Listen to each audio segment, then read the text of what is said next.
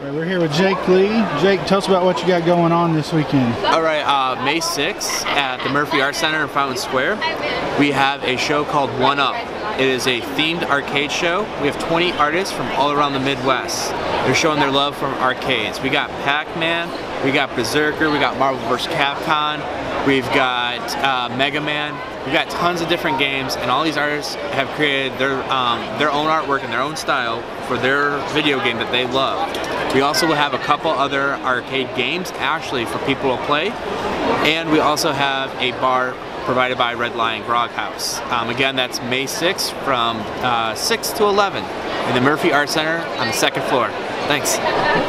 Town Buzz is brought to you by our supporters at Patreon.